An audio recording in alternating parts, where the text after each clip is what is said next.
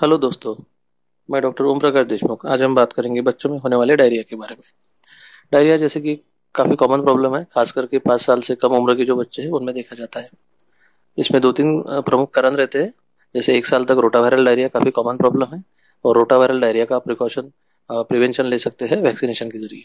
रोटावायरल vaccine जो है, उसके बारे में मैंने डिटेल में डिस्कस किया है एक दूसरे वीडियो में, आप जाके वो देख सकते हैं। दूसरा एक कॉज रहता है डायरिया का बैक्टीरियल इन्फेक्शन बैक्टीरिया जब भी शरीर में जाता है, खास करके E coli Klebsiella salmonella shigella ये दो चार ऑर्गेनिज्म है जिसके जिसके कारण हमको डायरिया होता है. डायरिया और डिसेंट्री में भी थोड़ा सा फ़र्क है. जैसे कि डिसेंट्री मतलब जब लूज मोशंस में या लेट्रिन में ब्लड दिखता है, या म्यूकस दिखता है, तब आप उसको डिसेंट्री बोल सकते हैं. और अगर ब्लड नहीं है तो उसको हम सिंपल डायरिया कहेंगे. डायरिया का जो डब्ल्यू का डेफिनेशन है, उसका, उसके हिसाब से बच्चे में अगर दिन में तीन बार, चौबीस घंटे में तीन बार या उससे ज़्यादा बार लेट्रिन होती है, जो पतली रहती है मतलब जो कंसिस्टेंसी है, वो वाटरी या लूज रहती है तो उसको हम डायरिया बोलते हैं। Consistency is more important than the frequency मतलब बच्चे चार बार भी लेट्रिन करेगा कभी कभी लेकिन अगर कंसिस्टेंसी उसकी नॉर्मल है तो उसको हम डायरिया नहीं बोलेंगे। लेकिन अगर दो बार भी करेगा मतलब लेकिन अगर तीन बार या चार बार करेगा और कंसिस्टेंसी काफ़ी वाटरी रहेगी तो उसको हम डायरिया बोलेंगे।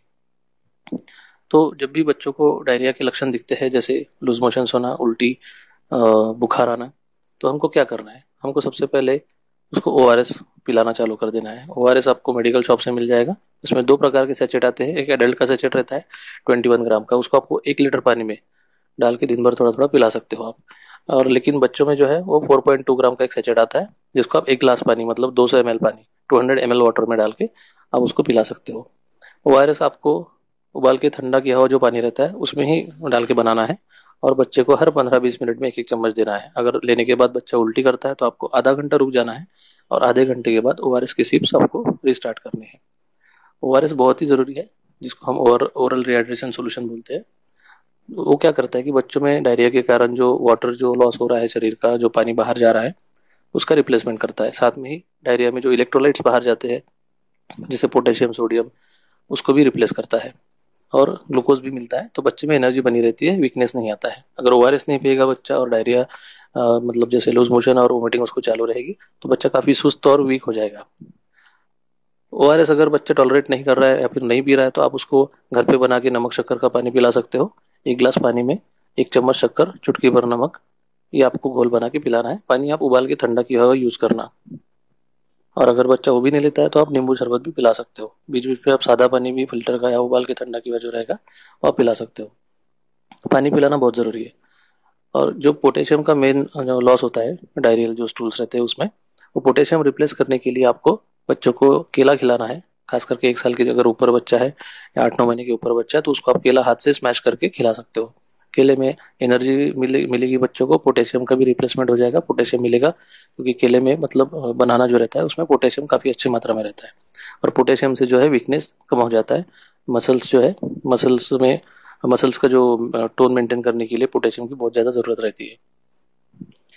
और साथ में ही अगर बच्चा उल्टी काफ़ी कर रहा है तो आपको डॉक्टर की सलाह से उल्टी की दवा लूज मोशंस अगर ज़्यादा है तो आपको डॉक्टर की सलाह से लूज मोशंस की दवा, ये सब चालू करना है। दूसरी बात है बच्चा अगर यूरिन आउटपुट अगर बच्चे का कम है, फॉर एग्जांपल अगर जो हमेशा बच्चा यूरिन करता है, उससे काफ़ी कम मात्रा में कर रहा है या पिछले बारह घंटे में, चौबीस घंटे में उसने अगर यूरिन पास नहीं किया है तो ऐसे समय आपको तुरंत डॉक्टर के पास जाना है।